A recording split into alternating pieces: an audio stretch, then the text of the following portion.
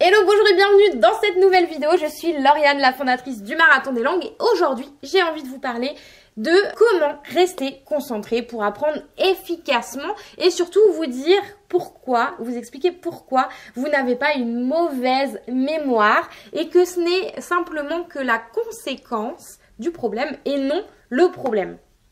On va y arriver. Jingle.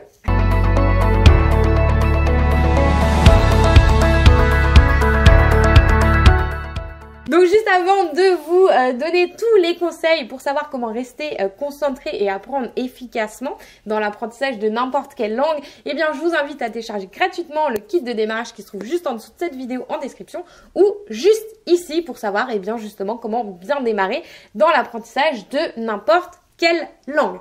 Donc comme je vous le disais, euh, et restez bien jusqu'à la fin parce que je vais vous partager des super applications, vous allez voir c'est génial. Le truc c'est que souvent on me dit ah oui mais j'ai une mauvaise mémoire, euh, j'arrive, ça, ne rentre pas, j'arrive pas à retenir mon vocabulaire et finalement eh bien ça bloque à l'oral parce qu'on n'arrive pas à aller rechercher son vocabulaire et on n'a pas cette fluidité qu'on aimerait avoir. En fait, ce que je veux vous dire aujourd'hui, c'est que le problème, ce n'est pas justement votre mémoire, c'est simplement euh, la conséquence de votre manière d'apprendre.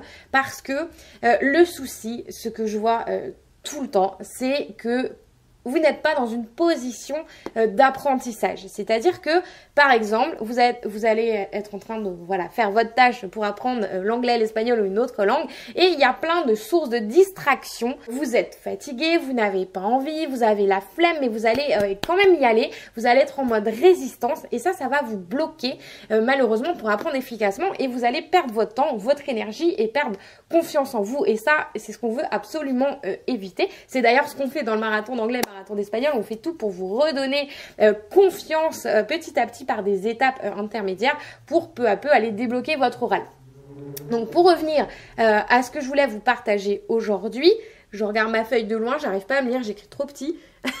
c'est que oui, la, toute première chose, eh bien, c'est tout simplement de respecter votre cerveau, respectez vous, respectez vous, respectez le fonctionnement naturel votre fonctionnement naturel et pour ça, eh bien, je vous donne les conseils qui suivent. Déjà, la première chose, c'est de vous assurer, euh, pour rester concentré, pour apprendre efficacement, c'est de vous assurer de vous créer des moments d'apprentissage qui soient propices à l'apprentissage. Alors, merci pour ce conseil, Lauriane.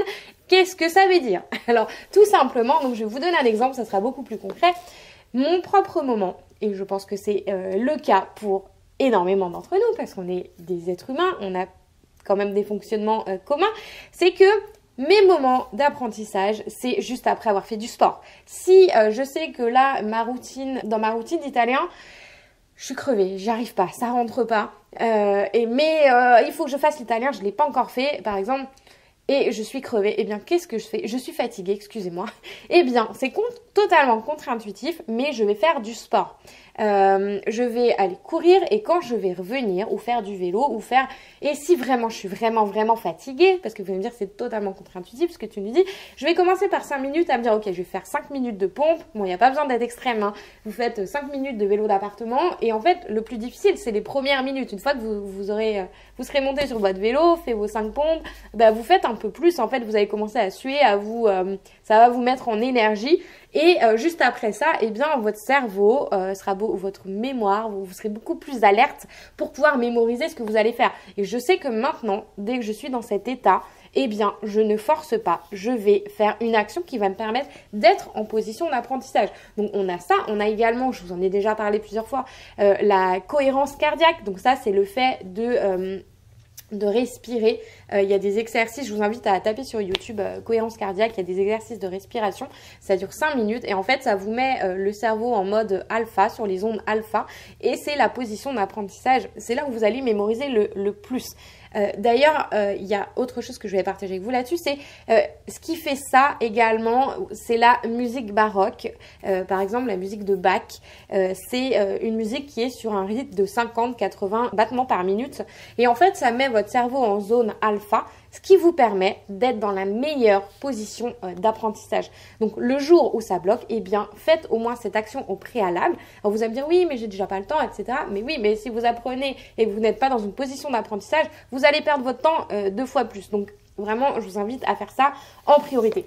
Le deuxième conseil, c'est encore une fois, c'est le fait de définir des moments qui seront les mêmes tous les jours. Par exemple, moi je sais que le matin, mon esprit est plus alerte. Donc, je vais me euh, focaliser sur ma priorité le matin. Dès que je me lève, ça sera euh, mon action de la journée. Ça sera mon point de repère non négociable. Ça, je vous en parlerai dans une prochaine vidéo. Je vais absolument le mettre en place. Si par exemple vous êtes plus alerte le soir, eh bien faites-le le soir. Et si vous avez du mal à définir euh, quel moment est le plus propice pour votre euh, apprentissage, parce qu'on a tous des chronotypes, c'est ce qu'on appelle euh, des chronotypes différents. Il y a des personnes qui vont être plus efficaces la nuit, certains plus le matin, plus le soir. Je vous invite à lire le livre de Michael Breuse qui s'appelle Quand, qui vous permet en fait de définir, vous avez un petit quiz au début, de définir quel est votre chronotype pour savoir eh bien, quel est le meilleur moment pour euh, faire les choses. Ensuite, mon troisième conseil, eh bien, c'est de, encore une fois, bloquer des créneaux, mais des créneaux de 20 minutes. 20 minutes, c'est la durée moyenne de de full concentration, de concentration à 100% euh, du cerveau sur une tâche. Euh, ne vous bloquez pas 3 heures euh, parce que vous allez être épuisé. Vous allez, voilà, vous pouvez le faire en mode Pomodoro. Je vous en ai déjà parlé dans une autre vidéo. Mais par exemple, Pomodoro, ça veut dire que vous allez faire 20 minutes. Au bout de 20 minutes, vous allez faire une pause de 5 minutes, de 3 minutes. vous allez remettre le chrono pour 20 minutes et vous focalisez pendant 20 minutes sans aucune distraction. C'est ça que je voulais vous dire au début, sans aucune distraction. Vous êtes en mode avion euh, parce que si vous êtes interrompu toutes les deux minutes, vous allez euh, devoir reprendre du temps pour vous reconcentrer sur la tâche. Voilà, ça va être, euh, ça sera pas efficace. Et il y a une application qui est superbe pour ça, c'est l'application Forest. C'est Manon du marathon d'anglais justement qui m'en a parlé. Je voulais absolument le partager avec vous parce que c'est une application fabuleuse. C'est-à-dire que vous allez euh, vous bloquer des créneaux sur euh, l'application et si vous, ne, si vous restez focalisé sur votre tâche sans toucher à votre téléphone, eh bien, il y a un arbre qui pousse. Alors que si vous touchez à votre téléphone, l'arbre va mourir. C'est quand même une vraie euh, motivation. Après, ça dépend de vos valeurs, évidemment moi ça me motive. Donc ça, le fait de, vous bloquer des moments de 20 minutes, vous savez que vous êtes focus sur votre tâche d'apprentissage, donc, euh, donc faites-le. Voilà, tout simplement. Et pour aller plus loin, parce que tout ça, vous allez me dire, bah, c'est bien beau, mais c'est des, choses, des petites choses comme ça du quotidien à court terme. Mais pour aller plus loin, si vous voulez entraîner euh, votre votre concentration, votre discipline. D'ailleurs, on va parler de la discipline la semaine prochaine, dans la vidéo de la semaine prochaine, mais pour avoir du long terme, parce que nous, on veut des vrais changements, des choses qui vont pas, euh, qui vont pas disparaître du jour au lendemain. Eh bien, je vous invite euh, sincèrement à tester la méditation. Je vais pas euh, rentrer dans le détail là-dessus parce que, enfin, vous me direz dans les commentaires si vous voulez que je vous fasse une vidéo dédiée à la méditation par rapport à l'apprentissage, mais c'est quelque chose qui va vous permettre, en fait, de, de vous aider à être beaucoup plus focalisé, d'être beaucoup plus concentré quand vous apprenez et donc forcément à mieux mémoriser.